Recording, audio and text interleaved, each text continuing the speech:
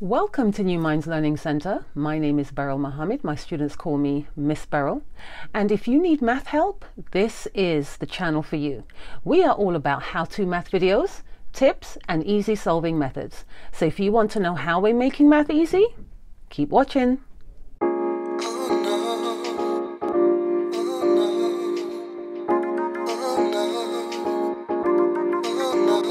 It's like every day, every day. If it's your first time here, welcome to the class. And if you are returning, thank you so much for coming back. This math video that you're about to see is about word problems. Let's dissect this one together. Watch this. So this is the thing. If you read word problems too quickly, you can kind of lose yourself in the word problem, but it's okay this is what we're going to do. We're not going to lose ourselves. We're going to take one sentence at a time. Let's read the whole thing first and then we can break it down. So Olga decorates blankets with ribbon. She has 12 yards of ribbon. She uses 22 feet of the ribbon to decorate blankets. After she decorates the blankets, how many feet of ribbon remain?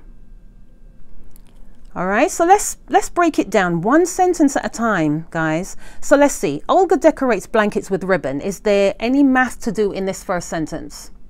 Okay, no. So let's move on to the next uh, part of the sentence. She has 12 yards of ribbon.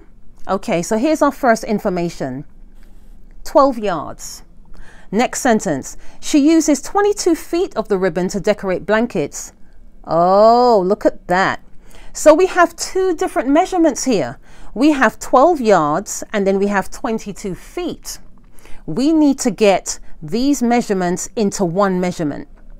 Okay, then obviously the question is asking how many feet of ribbon remain. So this is an indication here when something says how many's left over, how many's left, how many remains. So we know we're going to be using a subtraction at some point in this whole uh, calculation. So the first thing we have to do, guys, is we have to change our yards to feet. You remember that conversion? Let's do it here. So one yard is three feet. So if one yard is three feet, we want to get the whole thing in feet, right? So if one yard is three feet, how many feet, right, do we need for 12 yards?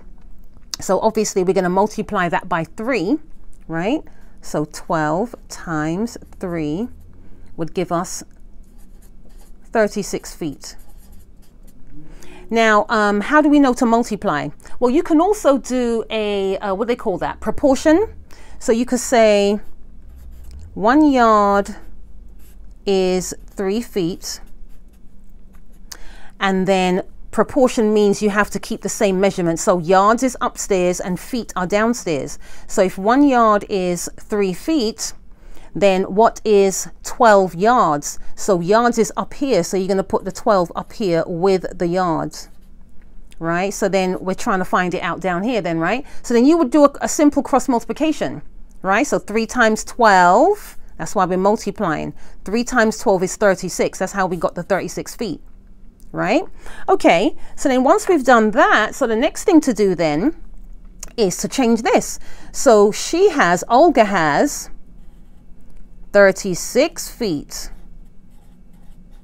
of ribbon and she uses 22 feet. Now it's going to make it easier to do now, right? So then we're going to say 36 feet minus 22 feet. And we know we're minusing because it said how many, um, how much of the ribbon remains right? So 6 take away 2 gives us 4. 3 take away 2 gives us 1. And there we have it. So she has 14 feet of ribbon remaining. Give me a thumbs up, guys. Give me a thumbs up. Well, what do you think? That wasn't so bad, right? Do you understand that a little bit better? Well, the thing there with that um, word problem video is that um, the conversion right? You would have to convert the yard to feet. But the good thing about that is if you was taking that in an exam, it depends. Common Core Math, they would provide the conversions for you. So you would be able to know that one yard is 36 feet without coming um, with it off the top of your head. Um, but it depends if that type of question turned up on maybe a regents or a nursing exam or something like that. They probably won't give you the conversion, so those ones you would have to know, like inches to feet, centimeters to meters, um, yards to feet, stuff like that. You'd probably have to know yourself. But anyway, thank you guys. Let me know if you have uh, another way to solve that video or that video. If you have another way to solve that word problem, please share it with us. You could probably help someone else as well. So thank you for watching and please like, comment and subscribe with that notification bell as I upload videos every Wednesday. I'll see you next time in another math video. Class dismissed.